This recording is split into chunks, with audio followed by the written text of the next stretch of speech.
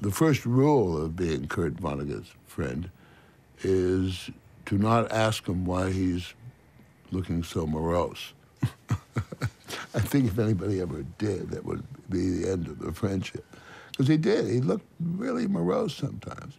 And, uh, but most of the time, he was, there was this kind of wonderfully mad twinkle in his eye.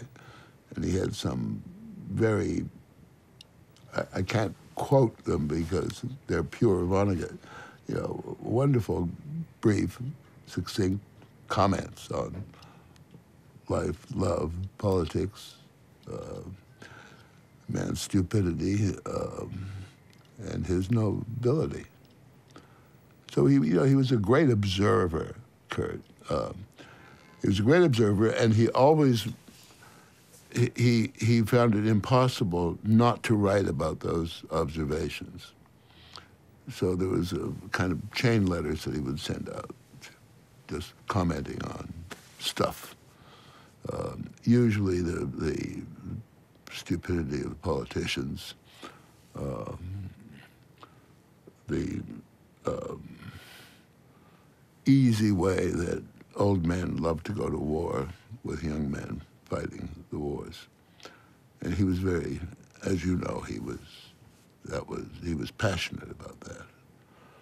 Passionate about being anti-war.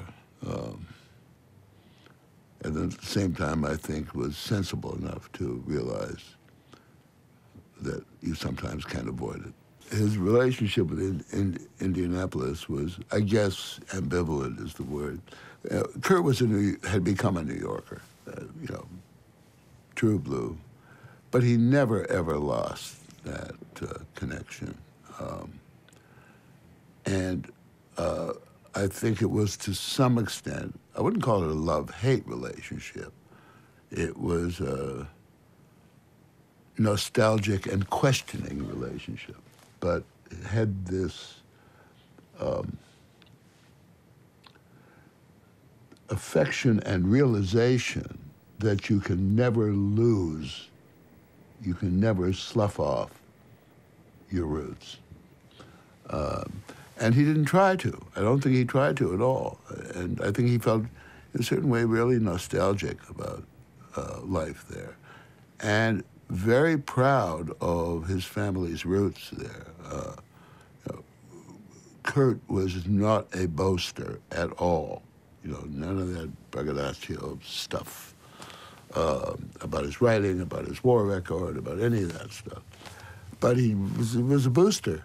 He was proud of his Indi- of, of his Indianapolis roots, very much, and uh, I think kind of liked the idea of being himself a uh, maybe a bit of an act sometimes about being a hick from Indianapolis, you know, uh, in awe of all these giant brains and great talents and all that crap about New York. I think that, that having a library is exactly the kind of, of honor he would be really proud of. I really do. He was a great reader. He loved to read. He always was, asked, you know, grilling me about what I was reading. Uh, and I think uh,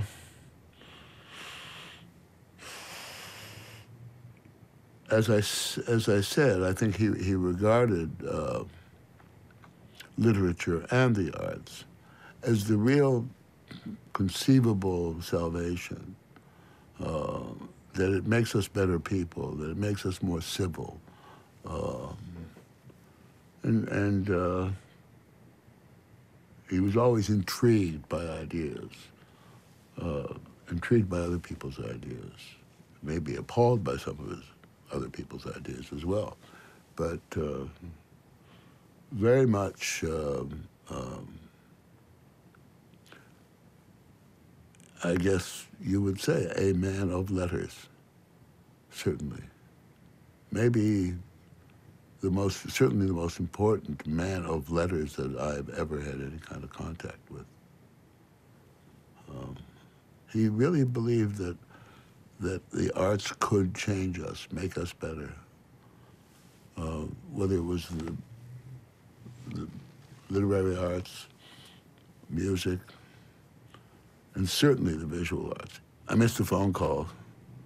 Kurt was, his phone calls were something. He, he'd call me after 60 minutes off, and, oh, you know, so 7, 10 on Sunday, or 8, 10 on Sunday night. And uh, he, he would, phone ring, I'd pick it up. He'd say, it's Kurt. It was terrific. You'd hang up. I'd call back. He said, what do you want? I just wanted to, I wanted to hear more. Come on. He said, that's all I have to say. he could be really taciturn in that way. You know, it wasn't act. He just was, all he wanted to do was say what he wanted to say and get the hell out of that, off that line. Uh, so he did that a lot. That was, it was really funny when he did it, because he sounded angry. He would sound angry. And of course he wasn't angry. He just didn't want to have a long, boring conversation with me. and, you know, uh, and he was just about the most decent man I've ever known. Um,